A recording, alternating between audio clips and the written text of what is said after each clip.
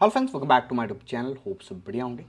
कल के हेडलबर्ग की रिपोर्ट ने कहीं ना कहीं पूरी मार्केट को हिला के रख दिया है। जिस तरह से उन्होंने रिपोर्ट दिया है और पूरा का पूरा एलिगेशन अगर आप देखोगे तो आपको सेबी के चेयरपर्सन पे जाता हुआ दिख रहा है कि कहीं ना कहीं उनका इन्वॉल्वमेंट था। उस, उसकी वजह से जो अडानी का रिपोर्ट हमने पहले दिया था जो 106 पेजेस का रिपोर्ट था उनका वो दिया था, उस पर कोई अच्छे से इन्वेस्टिगेशन नहीं हुई है और उसके पीछे जो बताया जा रहा है, वो बताया जा रहा है कि सेबी के चेयरपर्सन जो हैं, उनका डायरेक्ट इन्वॉल्वमेंट है। तो ये चीज़ ने मार्केट को हिला के रख दिया है और सबके माइंड में यही चल रहा है कि मार्केट कल के दिन में क्या ओपन होगा, किस तरह से ओपन होगा, हमें क्या करना चाहिए, क्या हमें पोर्टफोलियो निकाल देना चाहिए, जो भी लॉसेज हैं बुक कर लेने चाहिए।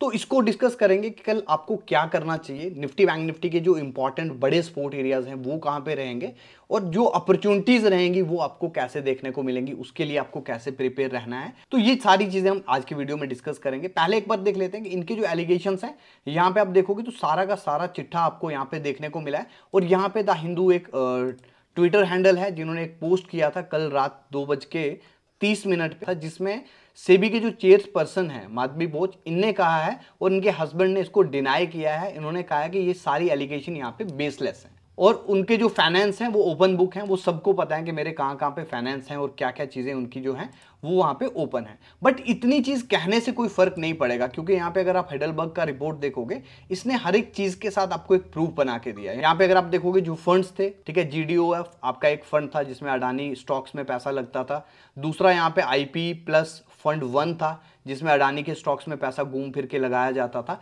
और यहाँ पे इसी फंड्स में इनका इन्वॉल्वमेंट दिखाया गया है कि यहाँ पे इनका काफ़ी मोटा शेयर है। और काफ़ी अच्छे क्वांटिटी में ये इसको होल्ड करके बैठे थे। उसके बाद अगर आप देखोगे तो थोड़ा और ऊपर आप जाओगे तो इन्होंने कहा है कि 18 मंथ से इस पे कोई इन्वेस्टिगेशन नहीं हुआ है तो सेबी यहाँ पे इसमें इन्वॉल्व था, उस वजह से इन्वेस्टिगेशन नहीं हो पाया। यहाँ पे इन्होंने बताया है कि इनका जो अकाउंट ओपन हुआ था, वो कौन सी डेट को अकाउंट ओपन हुआ था तो और इसका अगर आपको डिटेल में पढ़ना है तो उसका मैं लिंक आपको डिस्क्रिप्शन बॉक्स में दे दूँगा। जो भी हेडलबर्ग ने बोला है, उनके जो प्रूफ लगाए हैं, उनको आप खुद से देख सकते हो, खुद से स्टडी कर सकते हो, उसके बाद आपको आइडिया लग जाएगा। यहाँ पे कुछ चीज़ें ऐसी हैं, जो चेयरपर्सन बनने से पहले की हैं, और कुछ चीज़ें जो चेयरपर्सन बनने के बाद की हैं तो उसको आपको पढ़ना है अच्छे से। उसके बाद अगर आप देखोगे तो इनके हस्बैंड का यहाँ पे कुछ वगैरह इन्होंने जो है मार्क करके दिए हैं। इनके आप देखोगे तो यहाँ पे जेपैक इन्होंने अटैच किए हैं इसके साथ। ठीक है, ये सारी चीज़ें आपको खुद से पढ़नी है, तब आपको आइडिया लगेगा कि रियल में फंडा है क्या है किस तरह से ये सारी चीज़ें बनी है। बाकी मार्केट कल ओपन होगा तो हमें क्लियरिटी मिलेगा कि क्या कुछ खास होने वाला है। निफ्टी बैंक निफ्टी के चार्ट्स पे देखेंगे कि कल अगर मार्केट बहुत बड़ा गैप डाउन हो जाता है फ्लैट ओपनिंग होता है हल्का फुल्का गैप डाउन होता है तो तब आपको क्या रिएक्शन देखने को मिलेगा? तब सबसे पहले आपको क्या करना चाहिए? यहाँ पे कोर्ट के रिलेटेड भी कुछ चीज़ें आई हैं। जैसे कोर्ट ने कहा था कि सेबी किसी चीज़ तक नहीं पहुँचा है। अभी तक तो उसके हिसाब से भी हेडलबर्ग ने कहा है कि यहाँ पे कोर्ट ने भी जो चीज़ लिखी है सेबी का नेग्लिजेंसी है कि अभी तक अडानी ग्रुप का जो भी हमारा ये स्कैंडल चल रहा था, इस पर इन्वेस्टिगेशन नहीं कर पाए तो यहाँ पे निफ्टी के चार्ट पे आ जाते हैं। निफ्टी के चार्ट पे अगर आप देखोगे ना तो इंपॉर्टेंट स्पोर्ट एरिया जो मेरे को दिख रहे हैं, वो दिख रहा है ट्वेंटी थ्री थाउज़ेंड जो आपका बहुत इंपॉर्टेंट एरिया रहेगा, और twenty three thousand six hundred ये रेंज आपका बहुत इंपॉर्टेंट रहेगा। जो यहाँ से अगर आप कैलकुलेट करोगे तो लगभग थर्टीन टू फोर्टीन पॉइंट का स्पेस आपको यहाँ पे दिखता है, जो एक मेजर स्पोर्ट एरिया है।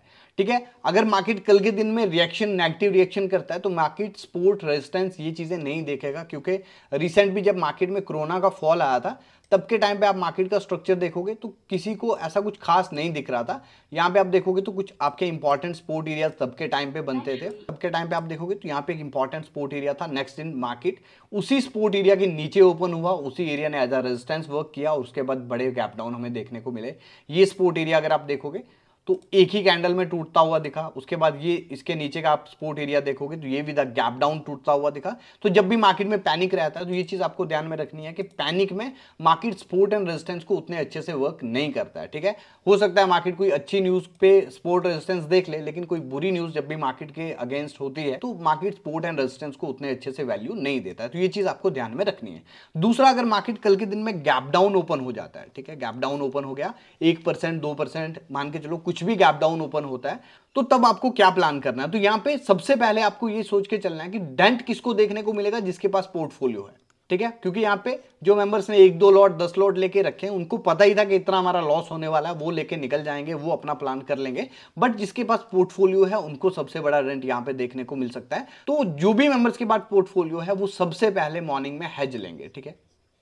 हैज़ लेना चाहिए। हैज़ क्या होता है? अगर आपका इंडेक्स का और आपके पोर्टफोलियो का बीटा अलग है, ठीक है? अगर मान के चलो इंडेक्स एक परसेंट गिरता है और आपका पोर्टफोलियो भी एक परसेंट गिरता है तो कहीं ना कहीं आपका बीटा वन है। आप सेम इंडेक्स के साथ पुट प्लान करोगे और पुट लेके बैठोगे अपने पोर्टफोलियो के हिसाब से। अगर आपका बीटा हाई है इंडेक्स निफ्टी एक परसेंट गिरता है और आपका इंडेक्स तीन परसेंट, चार परसेंट गिर जाता है या दो परसेंट गिर जाता है या दो परसेंट बढ़ जाता है तो आपका बीटा हाई है तो इसके साथ आप क्या करोगे? मिड कैप निफ्टी पे फोकस करोगे मिड कैप निफ्टी का हेज लेके चलोगे, क्योंकि आपके जो स्टॉक्स रहेंगे, वो mid cap small cap category में आते होंगे तो इसलिए आपको मिड कैप का हेज लेके चलना है मिड कैप के पुट्स को ऐड कर लेना है।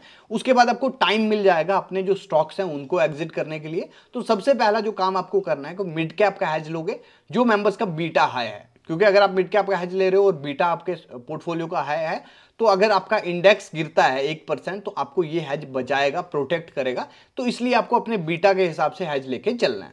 दूसरा आपको ये चीज़ ध्यान में रखनी है कि लास्ट टाइम जब कोरोना का फॉल हुआ था बहुत ज़्यादा अपॉर्चुनिटीज़ आपको मिली थी। बॉटम पे आप देखोगे तो 7,500 के लगभग निफ्टी आपको मिला था। उसके बाद निफ्टी 24,000 ट्रेड किया है। इसका कहने का मतलब ये है कि मार्केट ऊपर जाने के बाद अगर नीचे आता है तो फिर से मार्केट ऊपर जाता है। तो यहाँ पे ये जो अप ट्रेंड रहेगा ठीक है इस न्यूज़ के बाद जब भी ये शॉर्ट आउट हो जाएगा तो कोई ना कोई अप ट्रेंड फिर से बनेगा। तो जब भी ये अप ट्रेंड बनेगा तो तब आपको फिर से पोर्टफोलियो बनाना स्टार्ट करना है इन्वेस्टिंग स्टार्ट करना है। क्योंकि ये न्यूज़ टेम्परेरी रहती हैं। मार्केट आपका परमानेंट है। जब भी मार्केट आप देखोगे, कोरोना में गिरा, ऊपर आ गया, उससे पहले बबल ब्लास्ट हुआ, तब के टाइम पे ऊपर आ गया, उससे पहले आप देखोगे तो 1992 स्कैम हुआ। तो स्कैम में मार्केट हमेशा मार्केट रिकवर करने का ट्राई करता है। तो ऐसा नहीं करना है कि मार्केट को छोड़ के निकल जाना है। ये आपको रेगुलर बेसिस पे इस तरह की चीज़ें मार्केट में देखने को मिलती हैं। यहाँ पे अगर आप देखोगे, एक ही कैंडल बना था, बहुत नीचे गया मार्केट सेम डे रिकवर कर गया। तो इस तरह का रिकवरी जो है मार्केट करेगा। तो इसलिए आपको इन्वेस्टिंग के लिए भी तैयार रहना है। अगर कुछ न्यूज़ आ जाता है इन्वॉल्वमेंट आ जाता है तो क्या होगा कि ये चर्चा चलेगा दो महीने, तीन महीने छः महीने, उसके बाद मार्केट इसको भूल जाएगा मार्केट बॉटम बनाएगा मार्केट अपना काम करेगा। तो इसलिए जो आपकी इन्वेस्टमेंट है, अगर आपको लगता है कि हमें अभी करंट सिचुएशन में निकालनी है, हम अच्छे खासे प्रॉफिट में हैं तो उसको आप एग्जिट दे सकते हो। पोर्टफोलियो के लिए हेज ले सकते हो। उसके बाद बॉटम पे आपको फिर से अपॉर्चुनिटी मिलता है। तो फिर से अपना पोर्टफोलियो बिल्ड करना, स्टार्ट करना, क्योंकि अभी तक आप ट्रैक कर लो, पूरा का पूरा मार्केट ट्रैक कर लो। आप यहाँ पे वन मंथ टाइम फ्रेम लगा के देख लो थ्री मंथ टाइम फ्रेम लगा के देख लो तो आपको आइडिया लग जाएगा कि क्रैशेस के बाद होता गया यहाँ पे आप देखोगे तो आपको पता लग जाएगा ये आपका 2020 का क्रैश है, उसके बाद मार्केट ये रिकवर किया, यहाँ पे 2009 का क्रैश है मार्केट इस तरह से रिकवर किया। उसके बाद अब थोड़ा सा और पीछे जाओगे तो आपको आइडिया लगता रहेगा कि साथ साथ में यहाँ पे क्या क्या होता रहा। ठीक है, यहाँ पे आप देखोगे आपका 2000 का क्रैश है और यहाँ पे 2000 के जो क्रैश में मार्केट गिरा, उसके ऊपर ट्रेड कर रहा है। ये आपका 1992 का जो स्कैम का क्रैश है, उसके बाद भी मार्केट ऊपर गया। तो ये चीज़ें आपको ध्यान में रखनी है, मार्केट गिरेगा, मार्केट बाउंस करके ऊपर ही आएगा, ये सारी न्यूज़ें डिस्काउंट हो जाएँगी, हर एक चीज़ बदल जाएगी। बट मार्केट का जो स्ट्रक्चर है, वो इस तरह का रहने वाला है, हर एक क्रैश के बाद मार्केट बाउंस करता है। तो इसलिए आपको अपॉर्चुनिटी भी देखना है मार्केट को छोड़ के नहीं निकल जाना है कि मार्केट ने हमें डुबा दिया, ये कर दिया, वो कर दिया। फिर से आप जब मार्केट ऑल टाइम हाई पे होगा, फिर से आप रिग्रेट करोगे कि हमने यहाँ ले लिया होता। वो चीज़ें आपको सारी की सारी ध्यान में रखनी है। वीडियो थोड़ा लंबा हो गया। बट यहाँ पे कुछ चीज़ें इंपॉर्टेंट थी जो डिस्कस करना ज़रूरी रहता है। क्योंकि लोग क्या करते हैं कि क्रैश में निकल जाते हैं, फिर से टॉप पे एंट्री लेते हैं। लेकिन आपको इस बार ऐसा नहीं करना है। जब मार्केट बॉटम बनाएगा, तब आपको एंट्री लेना है। उसके बाद आप फिर से बड़े रिटर्न कैलकुलेट करोगे। ठीक है? तो ये चीज़ आपको ध्यान में रखना है। होप आपको वीडियो अच्छा लगा होगा। वीडियो अच्छा लगा लाइक करें शेयर करें अपने फ्रेंड्स के साथ। और चैनल को सब्सक्राइब करना मत भूलें। Thank you